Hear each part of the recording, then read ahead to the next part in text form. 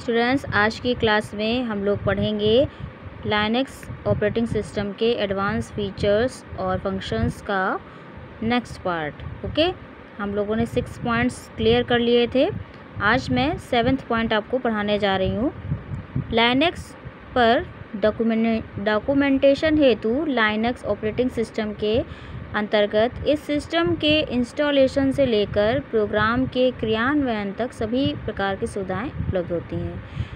Students Linux operating system में अगर हम डॉक्यूमेंटेशन करना चाहें तो डॉक्यूमेंटेशन से लेकर और अन्य जो सुविधाएँ हैं, उनके सिस्टम के इंस्टॉलेशन तक सभी सुविधाएँ आपको उपलब्ध होती हैं और किसी भी प्रोग्राम के क्रियान्वयन तक की सभी जो भी सुविधाएँ होती हैं, वो सारी सुविधाएँ लाइनक्स ऑपरेटिंग सिस्टम पे उपलब्ध होती हैं। और सामान्य रूप से लाइनक्स ऑपरेटिंग सिस्टम के को परिचालित करने में या उसे चलाने में कोई भी समस्या उत्पन्न नहीं होती है। लेकिन अगर इसके परिचालन में कोई, इसको चलाने में या इसको इसको ऑपरेट करने में कोई समस्या आती है तो इसमें एक हेल्प का विकल्प भी दिया होता है, जिस को चुनकर हम अपनी समस्या का समाधान सरलता से सरलता से कर सकते हैं, आसानी से कर सकते हैं। और लाइनक्स में अगर हम ऑप्शन से हमारा सरल निदान नहीं हो रहा है, समस्या का या निराकरण नहीं हो रहा है तो हम इस लाइनक्स ऑपरेटिंग सिस्टम पर असंख्य प्रोग्रामर्स वर्क करते हैं, ठीक है? कार्य करते हैं तो उनकी सहायता से भी हम अपनी समस्या का समाधान कर सकते हैं। तो ये आपका सेवेंथ पॉइंट है। आई होप कि आपको ये क्लियर हो गया होगा। नेक्स्ट पॉइंट है।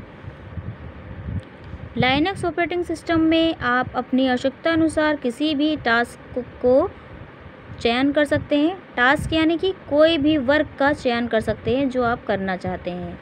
ठीक है? और उसका अपने प्रोग्राम में उपयोग भी कर सकते हैं। और इस प्रकार लाइनक्स अपने सिस्टम को पूर्णतः व्यावसायिक सॉफ्टवेयर है। यानी कि लाइनक्स ऑपरेटिंग सिस्टम एक व्यावसायिक सॉफ्टवेयर है, पूर्ण रूप से, और इसमें व्यवसायों से संबंधित किसी भी कार्य को हम सरलता से संपन्न कर सकते हैं। साथ ही लाइनक्स के द्वारा यह सुविधा भी प्रदान की जाती है कि हम इलेक्ट इसके ऑपरेटिंग सिस्टम को नेटवर्क द्वारा सहायता प्राप्त करके या चाहें तो सीडी के द्वारा भी संचालित कर सकते हैं। यानी कि नेटवर्क यानी कि अगर इंटरनेट से भी कनेक्ट करना चाहें तो भी कर सकते हैं और प्लस अगर हम सीडी इसमें लगाना चाहें तो सीडी भी लगा सकते हैं और इसे संचालित कर सकते हैं।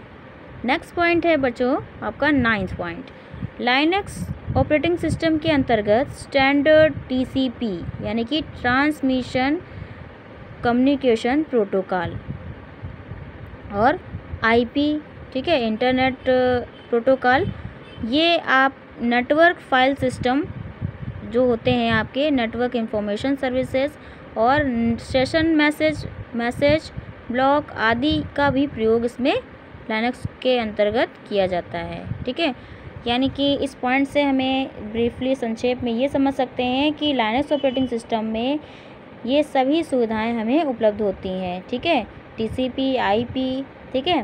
ये सारे फ़ाइल सिस्टम और network information services session message block ठीक है? सेशन क्या होता है? समय, ठीक है? समय को भी ये रूटीन में बताता है, रहता है और मैसेज ब्लॉक भी होता है। नेक्स्ट है आपका लाइनक्स एक पूर्णतः मल्टीटास्किंग सिस्टम है। मल्टीटास्किंग का मतलब सभी तरीके के कार्य करता है ये। पूर्ण मल्टीटास्किंग ओके जिसमें आप एक ही समय में विभिन्न प्रकार के डिवाइसेस जैसे मॉडेम प्रिंटर आदि को भी एक्सेस कर सकते हैं, यानी इनका सबका भी यूज़ कर सकते हैं एक साथ, और इसके अतिरिक्त सिस्टम पर विभिन्न कार्यों को बैकग्राउंड में भी संचालित कर सकते हैं।